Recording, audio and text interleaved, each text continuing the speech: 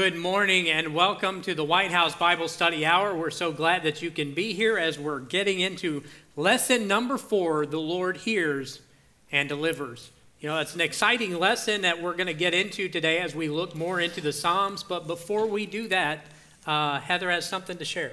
Sure do. Our free offer today is The Faith of Desmond Doss. It is a story from World War II, and it is a story of faith about how faith can help to shape our actions. Okay, uh, just go to our website and go to the free offer, click on that, and we'll get that right to you. And while you are there, feel free to go to our prayer and praise section, and we would love to be prayer partners with you. All right, thank you. You know, the story of Desmond Doss is one that's absolutely amazing. Right. And uh, if you don't know who Desmond Doss is, that's, that's a great intro to it.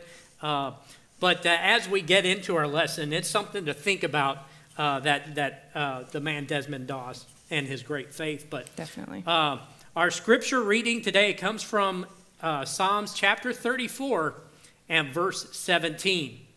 And it says, The righteous cry out, and the Lord hears and delivers them out of all their troubles. So let's have a word of prayer and we'll get started. Heavenly Father, we thank you so much for your many blessings and your watch care. And we pray now that as we get into the study of your word, that you would guide us and that you would lead us. Give us wisdom as we hear uh, these truths that are so important to each one of us, as we, we will all face adversity, but we have the assurance that you will hear and you will deliver us in Jesus' name. Amen. Amen. Okay, so uh, I am going to go over the scripture reading again, just to kind of reiterate. So uh, the righteous cry out, and the Lord hears him. Now, I, I do want to ask Does God hear everyone's plea? Yes. He hears everyone's plea. But there is a special plea that come from the righteous. And that's because of their connection with God. And so that's one thing that's very valuable, that's very important. God hears all people's plea for deliverance. But the continued deliverance comes through our connection with Him. But it says, the righteous cry out, and the Lord hears and delivers them out of all their troubles. Now, does it always feel like that? Absolutely not. Absolutely not. It doesn't feel that way. As a matter of fact, there were a few times David didn't feel that way. What that does, it's, it strikes home at the reality of uh, life can be difficult. And even though we oftentimes don't see God delivering us out of all our troubles, one thing we don't realize is that can also mean God delivers us through our troubles. Right, yes. And that's one thing we always need to remember. He may not take away a trouble, but He'll give us strength to endure that trouble. Well, and every time that strengthens us more and more. We don't like to think of it that way because we don't like yeah. the troubled times. But Right. And, and but you're absolutely right. That's why those troubled times are so important, even though, like you said, we don't like them. We, we don't enjoy them, but they're so important to prepare us for the bigger struggles, the bigger challenges to come. It's rough while you're in it, but when you get to that other side and he did bring you through it, it, Yeah. it really does build your faith. And, uh, exactly. And that gives us assurance that God hears us and He does deliver us through whatever our trouble is. But oftentimes it's through it, not around it. Right. And so we, we always need to remember that. Uh, I want to read quickly uh, Psalm 73, verse 23, and I'll have you read the next one. Okay. But at Psalms 73, verse 23, it says, Nevertheless, I am continually with thee, thou hast holden me by my right hand. And so, what we need to remember is He is continually with us.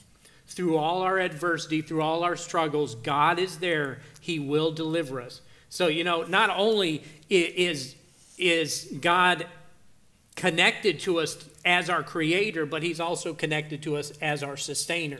One, I like the hand because his hand is always out, and it's Right. when we let go, he's Right. still there, Right. and that's hard to remember as well. Yeah.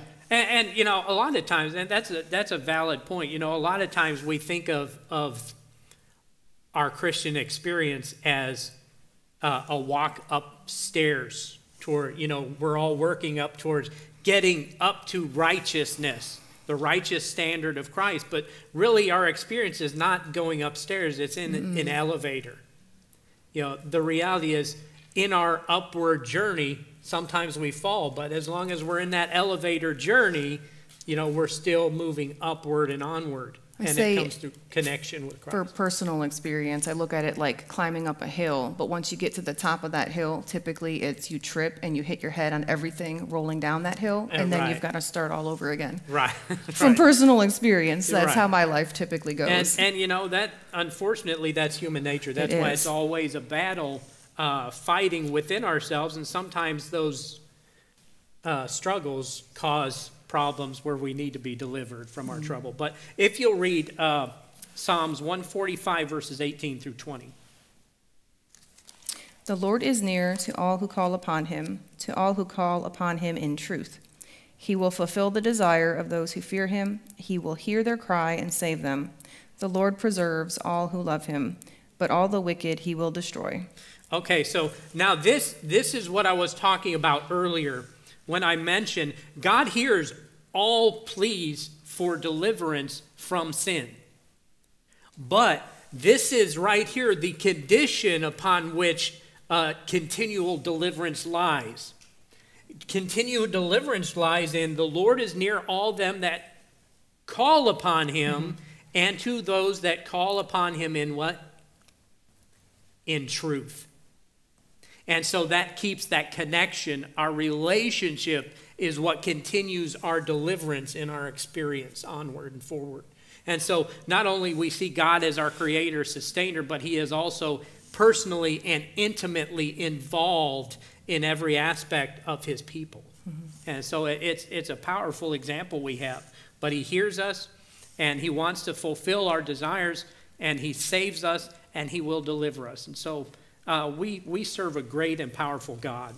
Uh, but one thing I do want to point out, like the lesson points out, in the bottom of the lesson, it says, We should remember that the proper response to the Lord's nearness consists in a life of faith in Him and of obedience to His commands, commandments. Nothing short of this faith and obedience will be acceptable to Him, as the history of Israel often revealed. Hmm. And so that goes with what you had, had just read. And so it's that continued connection with Christ that offers that continued deliverance from whatever our, our uh, trouble, whatever is troubling us. But going on, let's move to Sunday section. All right. And so we're going to be talking about my frame was not hidden from you. You know, we're going to be in Psalms 139. You know, this, this psalm is very interesting because it points out uh, many attributes of God. Because there are really four attri- attributes of God that we're going to talk about. But if, if you could start with uh, 139, verses 1 through 6. 1 through 6. Lord, you have searched me and known me. You know my sitting down and my rising up. You understand my thought afar off. You comprehend my path and my lying down, and are acquainted in all my ways. For there is not a word on my tongue, but behold, O Lord, you know it altogether. You have hedged me behind and before, and laid your hand upon me. Such knowledge is too wonderful for me. It is high, I cannot attain it. All right, so here we see uh, the reality that God searches us, God knows us. He knows our thoughts before we do. Uh, he knows our, what we're going to say before we do. Now, He doesn't control what we say, He doesn't Right. control what we do, but He knows us better than we know ourselves. And it says, anytime we go to do anything, He knows where, what we're doing. You know, and so it, it's an attribute of God. It's His, it's His omniscience, His, I, His, the idea that He knows all things. You know, He knows all things Right. that all people are doing, that all people are thinking. You know, and I think this is kind of where people, myself included, we want to praise him and in the good times we have great things to say, but when we are struggling or when we are angry or when we're having a bad thought that we're struggling with, we Mm-hmm. tend to hide that and back away from him instead of just saying, "Hey, I am very upset about this situation." Right. He knows you're upset. He understands what is really going on underneath all of that. And I believe when we talk to him about even those things, that he Right. can help us through those as well. Well, and, and I think that's exactly right because a lot of times we we get this idea that we shouldn't we shouldn't mention those things. We shouldn't Mm-hmm. We should mention that we're look- Mm-hmm. angry with God. We you know, the reality is that we may be angry and we may direct that anger towards God. Mm-hmm. But when we actually verbalize it, like David, like Job in their experiences, then we're able to figure out how to deal with it. Because is God bigger than your anger? Yes. He can deal with your anger, and it's, it's only by giving it to God that we can actually get over it. Well, and it's even with a personal relationship, like Yeah. in a marriage. If I'm very angry with you about something that has happened and I'm hurt, but I ignore it and I keep just put it, pushing it back, eventually Right. it's going to explode. But if we just sit and we talk about the situation and the emotions behind it, then it, you know, we can start to work on it and it gets better. Yeah. So Yeah. it's the same thing with God. But I think we try to, you know, have the Christian walk, the Christian look, Right. instead of owning our struggles and, you know, trying to be honest Well, and, and about them. And, and the, the reality is, it's only when we're honest with God that we can be honest with ourselves. Yeah. If you're angry with God, talk to Him about Mm-hmm. it. Because that, that's, you know, the, uh, Paul, Paul tells us that the Holy Spirit takes those words, takes those prayers, He's able to actually discern what the cause of it is. Mm-hmm. And He can interpret it for heaven. Does that make sense? Yeah. And so it's when we're being honest with our feelings, Mm-hmm. with our anger, with our depression, whatever it may be, uh, resentment, when we take that to God instead of trying to have this picture perfect life, like we don't, we have such a perfect walk with Christ. Well, Right. it's, it's those struggles that make it real. And so we need to be real uh, because that's really what's going to change us inside is when we're honest with God and honest with ourselves. And uh, let's go from verses 7 through 12. Where can I go from your spirit? Oh, where can I flee from your presence? If I ascend into heaven, you are there. If I make my bed in hell, behold, you are there. If I now, take stop right there for a mm-hmm. moment. Now, that word hell, you know, most of the Christian world thinks, oh, that's, that's hell. That word is, is not hell. It, it is actually the word we get the, the term grave. If we're in the grave.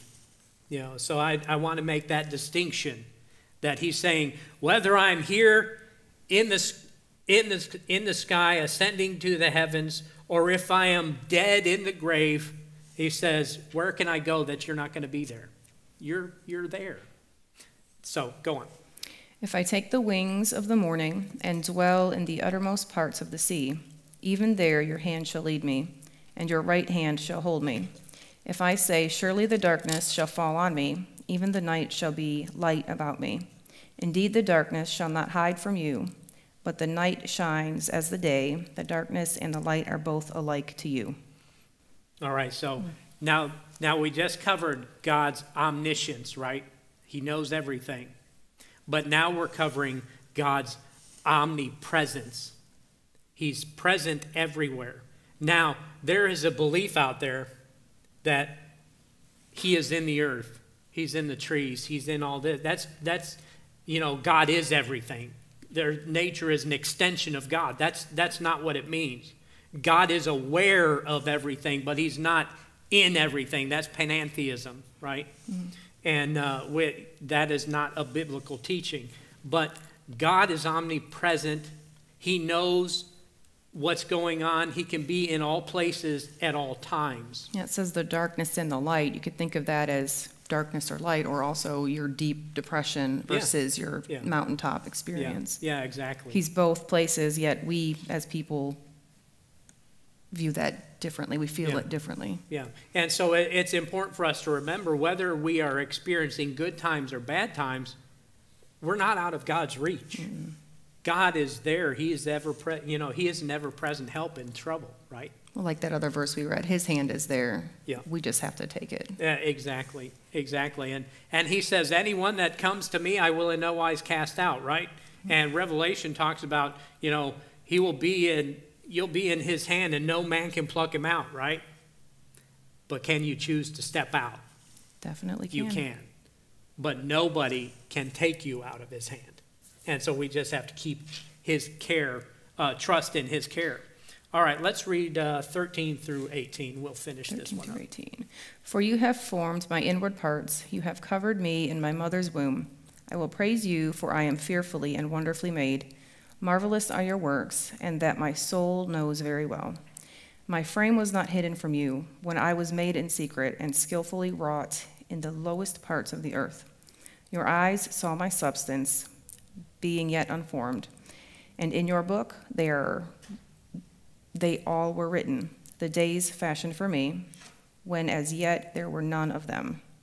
How precious also are your thoughts to me, O God! How great is the sum of them! If I should count them, they would be more in number than the sand. When I awake, I am still with you. All right. And so now what, what are we getting a picture of? You know, this is David talking. This is ta- he's talking about before he was even conceived Mhm, In the womb. in the womb. As a matter of fact, that's what he says. You it says in verse 13 in King James it says you possess my reins. What did it say in that one? Uh, let's see, you have formed me, You have my formed inward me. parts. Yeah, and so that word possessed in the King James actually means created. You formed me. You formed me together. And it said, You covered me. You knit me together. And so as we think about the conception of a child being born, developing in the womb, you know, God was intricately involved in that whole process. And uh, so David is, is verifying, you know, even when I was being developed, before these things ever happened, before my sinews were attached to my body, before the, the everything began its activity in my body, you were there. You knew what was going on with me before anything. And so God has a foreknowledge of everything. But also, so we see, we've seen his omniscience, he knows all. We've seen his omnipresence. But also, we see his, omni, his omnipotence. He is all powerful. Because, well, he sets up kings, he takes down kings. Mm-hmm.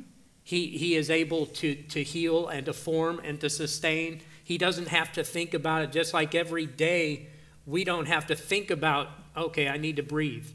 Okay, my heart needs to beat because God has set all that stuff in motion. But also, one thing we see in the creation of man, in the sustaining of life, is that his omnibenevolence. He is full of all goodness. Well, uh, what you said a minute ago, it reminds me too how, we're- you know, we're born just knowing how to do certain things. Uh, I see God in nature a lot, like, Yeah. you know, with turtles, they just know Yeah. what to do. There's no one there showing them what to Yeah. do. They just know Yeah. what to do, they know where to go, Yeah. and they all do the exact same thing. Yeah, And it- I, even since I was young, I've always wondered how in the world right. creatures just know what to do. Yeah. No one's there to teach them. They just do it, and it's amazing. Yeah, it, it really is. But you know, the the main thing we see it in in man is that our being men and women ourselves is we see the goodness of God. God wants the best for his creatures, so he is omnibenevolent. He wants nothing but the best for all his created things. And so it, it's, it's really amazing when we look at uh, how deeply involved and deeply acquainted he is with his creation. But uh, let's move on from there. We're going to move into uh, Monday's section. We're going to look at the assurance of God's care. Uh, the assurance of God's care. What do you think of when you think of assurance? Maybe uh, a guarantee, a A promise. Guarantee, a pro- yeah. Guarantee, assurance. Uh, the definition says, uh, uh, or should I say, a Christian definition rather than the Bible dictionary or uh, Webster dictionary. it says a believer's confidence in God, God's response to prayer, and the hope of eternal life. Assurance. Confidence, I like that. Yeah. And so it's, it's important. Assurance of God's care. A lot of times we don't necessarily see past the struggle, but we look beyond that to the promise the assurance. Well, I really do like that it says confidence mm-hmm. because I don't know. Sometimes, sometimes it's easy for that confidence to kind of waver when you're Yeah. when you're going through those tough times. Yeah, and, and that's one thing we see in with David and his whole experience, it, and even the, the disciples. You know, they had the talk about the apostle Paul. He had bitter times of disappointment mm-hmm. and struggles, but he said, in spite of that, I still press forward because I know God's working. He's He's doing a special thing, mm-hmm. and I, I know I'm going to make it through this. And he mm-hmm. says, whether I live or die, it doesn't matter. He says, if I die, that's, that's fine. But if I live, then I'm going to live like Christ. You know, so it's, it's whether we need to have that perspective in our struggles and the assurance of God's care. Well, and the crazy thing too is our struggles can help other people. Yeah. Uh, just like all these stories in Psalms, it's basically about all their struggles. Yet we're Yeah. gr- we're drawing great strength from that. And I feel like when people see, you know, the people who look like Christians and you know they look like they got it all together, just knowing that they struggle just like everybody else, it really does help Well, to it- make you it- realize that that is a normal thing in life, this life anyway. Yeah, exactly. Uh, Romans tells us that all things were written for our learning, that we, through patience and comfort of the scriptures, might have hope. Mm-hmm. When we look at these mega people of faith, and we realize, looking at their lives, they were not different mm-hmm. than we are. They had terrible struggles Yes, they did. but they had the assurance because they continued to hold on to that promise. In spite of their shortcomings, they said, you know, and you know, this isn't this isn't in the lesson, and it's not in in Psalms, but I want us to turn to uh, Philippians because this is actually one of my favorite texts, and I hold to it very often because our human nature can really discourage us at times. Yes, it can. But uh, thinking about the struggles we face in Philippians chapter 3, uh, let's start at verse 10. It says, uh, do you want to read that? Sure. 10 and 10 and 11. that I may know him and the power of his resurrection and the fellowship of his sufferings, being conformed to his death, if by any means I may attain to the resurrection from the dead. Okay, so he says, that I may know him and the power of his resurrection and the fellowship of his suffering, being conformed to his death. So we are, are yearning to be like Christ in all things. When looking at his sufferings, Yeah. I can only pray that I would be strong enough to go through something and like that. He'll give us the faith when we need that. Right. That's what's so amazing. But go on to verse 12. Verses 12 through 14 is really what, what hits me the most. not that I have already attained or am already perfect, but I press on that I may lay hold of that for which Jesus Christ has also laid hold of me. Brethren, I do not count myself to have apprehended, but one thing I do, forgetting those things which are behind and reaching forward to those things which are ahead.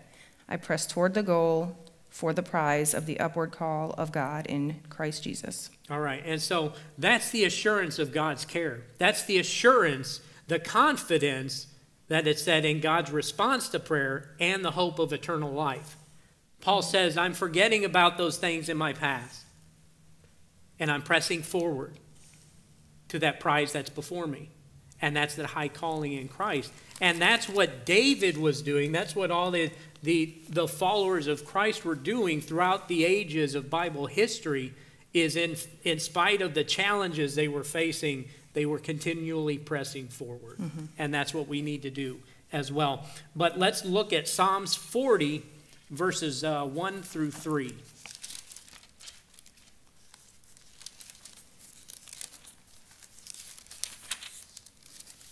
One through three. Yep. I waited patiently for the Lord, and he inclined to me and heard my cry. He also brought me up out of a horrible pit, out of miry clay, and set my feet upon a rock, and established my steps. He has put a new song in my mouth, praise to our God. Many will see it and fear, and will trust in the Lord. All right, so David, He says, I waited patiently on the Lord. We're not good at patient. Uh, no, we, we tend not to be, but that's, that's why uh, it's important to, to grow We- in that patient experience. We have a get it right now society. Right. You want McDonald's, they'll bring it to your door right now.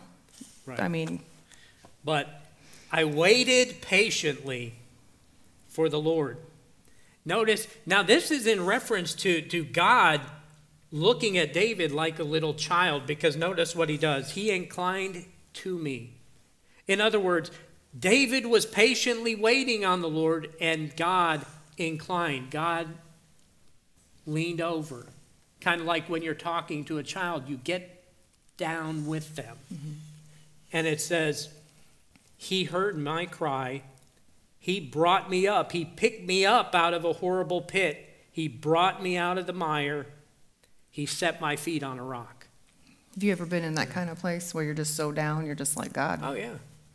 there's nothing left. Pull me out. Yeah. And uh, oftentimes it's not until we fall on the rock that He can lift us up. Yeah. But he says, He established my goings. He knows where we're going, what we're doing. He will guide our path if we let Him. But then notice he says, He put a new song in my heart.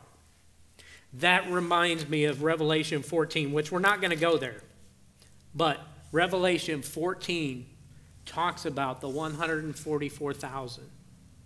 And mm-hmm. one thing they are given a new song. is a new song. That song is a song of their experience. It's a song of their, their personal experience. It's the song of their redemption, and it's the song of victory. But only those who re- redeemed and trusted beyond, they had the assurance and held to the assurance, they're the ones that will sing that new song. And that's what David's talking about. So it's, you know, when we think of patience, you know, Jesus tells us, in your patience, possess ye your souls. You know, that's, it's trusting in his patience in spite of ourselves. And, uh, Definitely need help in that area. and uh, Revelation 12 14 says, Here are the patience of the saints. Here are they that keep the commandments of God and have the faith of Jesus Christ. So, you know, it's, it's all part of the growing experience. And James even talks about it in chapter 1 how, how patience has to have its perfect work in us. So, Man, I'm learning things today. well, we all have things to learn. And, uh, you know, it's, it's as goes back to what we said earlier it's being honest with God and honest with ourselves in those challenging times. But turn to Psalms 50, verse uh, 15. 50, 15? Yep. Call upon me in the day of trouble, I will deliver you, and you shall glorify me. Call upon me in the day of trouble. You know, we should call upon God in our day of trouble, mm-hmm. but the reality is we should call upon God always. Mm-hmm. But it's in these times of trouble we face every day that prepare us for the larger ones to come. Mm-hmm. But he says, Call upon me. I will deliver, and you will glorify me. And that goes back to singing the new song hmm. because God delivers. But uh, let's go ahead and turn to uh, Tuesday's section. The Lord is a refuge in adversity. You know, the reality is, how many of you are without adversity? Can anybody raise their hand? We're all, the reality of life is we will face adversity. We will face trouble. Sometimes it's easier than others, and sometimes it seems like one after another comes. But when we say the Lord is a refuge, what is a refuge? It's a safe place. It's a safe Shelter. place, a shelter. And uh, now I'm not talking about a safe place from words in our society. I'm not talking about that kind of safe place. But a safe place of refuge, a place of protection, a place of safety that is both physical and spiritual. Because sometimes we need protection and safety spiritually. Most of the Yeah. time, that's where it all begins, right? Mm-hmm. And so we need that safety. But John 16 33 says, In the world you will have tribulation, but be of good cheer, for I have overcome the world. So it's there's no question. We're all going to face trouble. Some trouble will be worse than others, but we will all, all face it. But Jesus says, Be of good cheer. I've overcome the world. That's hard to understand. It's going to be horrible, but be happy about it. I mean, Well, right. you know, and that's that's one thing we begin to realize, and and even even Paul talks about it in Hebrews. I, uh, you know, whatever state you're in, learn to be content. That's not always easy, but one thing he also adds to that is that he said, "I will never leave you or forsake you." And so, in spite of what situation we're in, uh, we can trust that he's going to get us through. We can trust that. And uh, we need to lean on, as we pointed out uh, the week before last, we need to lean on our past experience with what He has done for us, because that will help us through the future and through the present. But now let's, uh, let's go to Psalm 17. We're going to look at Psalm 17, uh, verses 7 through 9. show your marvelous loving kindness by your right hand, O you who save those who trust in you, from those who rise up against them. Keep me as the apple of your eye, hide me under the shadow of your wings, from the wicked one who oppresses me, from my deadly enemies who surround me. So, what does he say in verse 7? He says, Show Your your marvelous marvelous Loving kindness. loving kindness. Show it to me. I like Show it to eight, me. keep me as Yeah. the apple of your eye. That really Yeah. shows a very tender place for us. Tender place. And also, the, fir- the last half of that says, Hide me. Mm-hmm. Keep me, hide me. Mm-hmm. You know, we have the promise that He will do those things. He will keep us, He will hide us from our oppressors and from the enemy. And so we have that, that promise, and it's, it's, it's all based on our past experience. We trust on what God has done for us in the past. And so we can trust that He's going to continue today and even into the future. And so it's, it's a powerful thing when we look at it. And let's face it, David did not have a rosy path, and much of the path he created himself. But he continued to trust in spite of that. Granted, he needed a conversion experience, which he got when Nathan the prophet came and told him, hey, you know, it's you that troubles Israel. Um, but Would have been painful to hear. it would have been painful to hear, but it was a realization that he had to hear. Because what happened is he blinded his eyes to everything he was doing. Well, and that was a turning point. Either he could have, he could have gone one way or the Oh, other there. absolutely. So, Well, I mean, look at the, the other kings of Israel. When, when Jeremiah came and, and said, hey, you need to get back on the right path, they, they took his letter and tossed it in the fire. They, they put him in prison. They put him in a pit. So it, you know, it could have went either way, but he had a tender heart, and that's what God wants, uh, tender heart. Uh, chapter 31, verses 1 through 3. in you, O Lord, I put my trust. Let me never be ashamed. Deliver me in your righteousness. Bow down your ear to me. Deliver me speedily. Be my rock of refuge, a fortress of defense to save me.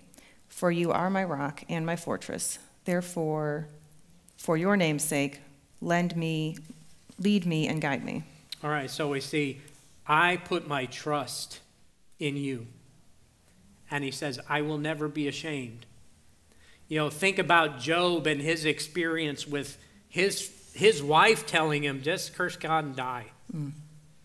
But Job was not ashamed of God. He said, I will put my trust in God in spite of what's going on in my life right now, and I don't understand what's going on right now. A lot of times we don't understand what's going on, but he says, I'm going to trust. I'm not going to be ashamed. And he says, Deliver me. And he says, You will deliver me. And so it's important that the Lord is our refuge in our adversity. in our struggles. And uh, I want to read a couple more verses here. Uh, let's go to uh, Psalms, Psalms 91 and verses 2 through 7.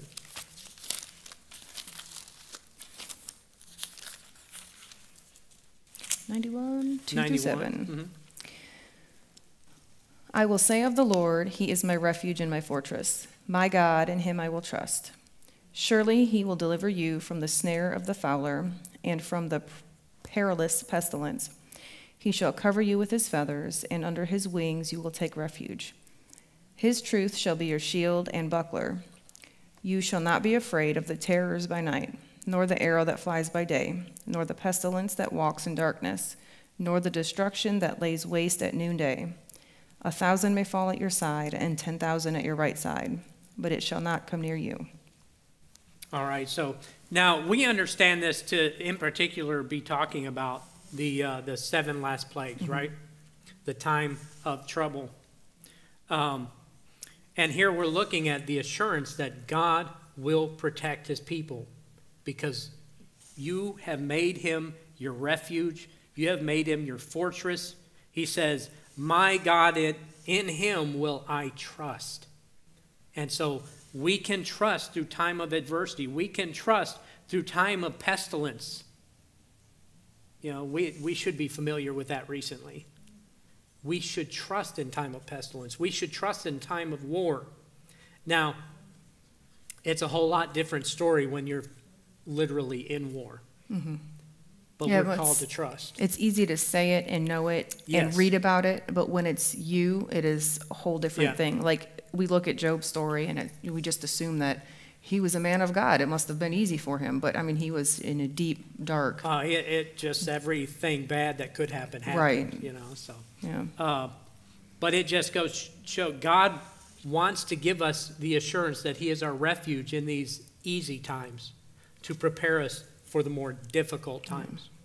And so uh, Isaiah 41, verse 10, then we're going to switch over. Turn to Isaiah 41, verse 10. I know it's not in uh, the lesson, but uh, Isaiah 41:10, And while she's doing that, uh, Isaiah 26, verse 3 says, Thou wilt keep him in perfect peace, whose mind is stayed on thee.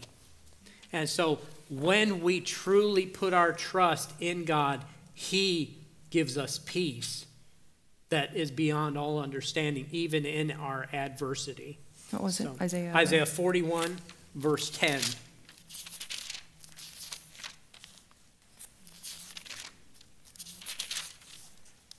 I'll be there eventually. Well, those Bear are with long me. chapters. 41, verse 10. Fear not, for I am with you. Be not dismayed, for I am your God. I will strengthen you. Yes, I will help you. I will uphold you with my righteous right hand. All right, so we have the assurance. He says, Fear not. Don't be afraid. I'm with you. He says, I will help you. I will strengthen you. I will uphold you with my righteous right hand. So he is our refuge in time of adversity. Uh, let's turn to uh, Wednesday's section, and we're going to look at God as our defender and our deliverer. Now, what is a defender? Someone who fights for you, Someone who fights for you. That's that's a good definition. protects definition. you. Right. So uh, I have two definitions. A defender is, according to the dictionary, is a person who defends someone or something. Uh, the Bible definition is one who defends, maintains, supports, protects, vindicates. He's a champion, an advocate, and a vindicator. So he is a defender. So God is our defender. But now, what is a deliverer? Someone who, I was going to say delivers, but that seems a little. Well, I mean, that, that he's one who delivers, one who rescues, right? A savior. There you go. And so God is our defender. He fights for us. He is also our deliverer. He rescues us. And so it, God is there at all times fighting for us. And in particular, when we look at, um, Paul talks about in 1 Corinthians 10 about how Israel's experience in the Exodus, that was all a, a type, if you will, of the grand deliverance that will take place. You know, so, you know, Egypt was, you know, a symbol of bondage, a symbol of, of sin, right? Because you were delivered out of bondage. Well, sin is bondage. Mm. And Jesus is going to have a grand exodus at his return, right? Where we will be delivered from sin and death, the bondage of sin and death. And so this is, you know, Paul is trying to compare the Exodus story to the Christian experience. You know, just like when they came out of Egypt, they came out of bondage. Then it says they walked through the Red Sea, right? They were baptized. They came into the promised land, their experience. God defended them, God delivered them, just like He is going to defend and He is going to deliver His people. Carried now, them through. He carried them fighting, through. Fighting Him and exactly. backsliding and, and all the uh, nonsense. Uh, with that in mind, uh, let's turn to Daniel chapter 12. I know it's not in the lesson, but thinking about how he is our deliverer and our, our, our defender and our deliverer, you know, we're told in Daniel that there is a time of trouble coming such as never was, right? Mm-hmm. So let's read chapter 12, verse 1. Just one? Yeah. At that time, Michael shall stand up, the great prince who stands watch over the sons of your people and there shall be a time of trouble, such as there never was, so, since there never ever was a nation, even to that time. And at that time your people shall be delivered, everyone who is found written in the book. All right, so in this final conflict, there will be a time of trouble such as never was. Nothing can compare to it. Hmm. Any adversity we've experienced, but that adversity we experience in this life is to prepare us to put that trust in Christ during that time of trouble, mm-hmm. such as never was. Yeah, imagine if your life yeah. is all smooth sailing and you get to something like that. Yeah. I yeah, mean, you're not prepared you have? for it. You would not, not be prepared, prepared at all. And so that's what this adversity is that we face in this life. We face those to prepare us for the climactic events to come, come in. And according to this, that conflict such as never was, the time when no man will be able to buy or sell, he says that Michael stands up. Michael, you know, the, it actually means he who is as God. Well, it's not, it's not a question, it's a statement. He who is as God stands up. Jesus stands up for his people to deliver them. He doesn't do it before the trouble comes, he does it through the trouble and he brings it to an end. He cuts it short in righteousness. Mm-hmm. And so, if we have the assurance that he will fight for us then, he will fight for us now and in that time to come. You know, Jesus said, I am with you always, even to the end of the world. And so, we can have the assurance that he will see us through this. He'll see us through the final conflict. He'll defend us, and he will deliver his people. And so it's, it's a promise that we can take uh, to the bank. you know? So, but uh, let's move on as in the short time remaining to Thursday's section. Help from the sanctuary. You know, a lot of times we look at the sanctuary. Well, how does help come from the sanctuary? Who's in the sanctuary? Jesus. Jesus is. Well, in the Old Testament, as a matter of fact, when we look at that, when the Old Testament started from the tabernacle to the temple of Solomon, uh, when God was there, what was there? The cloud of smoke, oh, right, yeah. cloud of the, the fire by, by night and the cloud by day. God was there, His presence was there. So when we say help from the sanctuary, it's really help from the person who's in the sanctuary. Mm-hmm. You know, uh, Psalm 73 17 says, Until I went into the sanctuary of God, then understood I their end. It's not until we go to the sanctuary that we understand the plan of salvation. And that's why it's in, uh, it goes on further in 77. He says, Your way, O God, is in the sanctuary. So, if we want to understand what God's deliverance is all about, we need to look at the sanctuary. When deliverance comes, the forgiveness of sin comes as a result of the work that he was doing in the sanctuary, but now it's not the earthly sanctuary. It's the heavenly sanctuary, right? Mm. And so let's let's look at Psalms chapter 3 verse 4. We're going to finish up here in what little time we have. While you're doing that, I'm going to mm-hmm. turn to Psalms 14:7. Psalms 3, verse 4 for you. 3, 4. I cried to the Lord with my voice, and he heard me from his holy hill. Okay, so he heard me from his holy hill, or some translations say from his holy mountain. Hmm. Do you know where that holy mountain is? It's Mount Zion. What was Mount Zion? that was the place where the temple was built. Now, as that, that temple's destroyed, Mount Zion is still there, but that's where, when he says Mount Zion, when help came from Mount Zion, it was from the temple. That's what he's talking about. Mount Zion was always about the temple. He heard him out of the sanctuary. But uh, Psalms 14 7 says, Oh, that the salvation of Israel were come out of Zion. When the Lord brings back the captivity of his people, Jacob shall rejoice and Israel shall be glad. So deliverance comes out of the Mount Zion, it comes out of the sanctuary. And so if you'll turn to uh, Psalms 20, verses 1 through 3, and we're going to wrap this up here. May the Lord answer you in the day of trouble. May the name of God, the God of Jacob, defend you. May he send you help from the sanctuary and oh. strengthen you out of Zion. May he. Rem- Go ahead, sorry. May he remember all your offerings and accept your burnt sacrifice. Okay, so it says once again help comes out of the sanctuary, help comes from the presence of God. Mm-hmm. That's who's in the sanctuary. That's where help comes from. Uh, Psalm 64, uh, 61 4, if you want to turn to Revelation 21. So, uh, Psalm 61 4, it says this, and uh, we'll just have two more scripture and then we'll put a bow on this.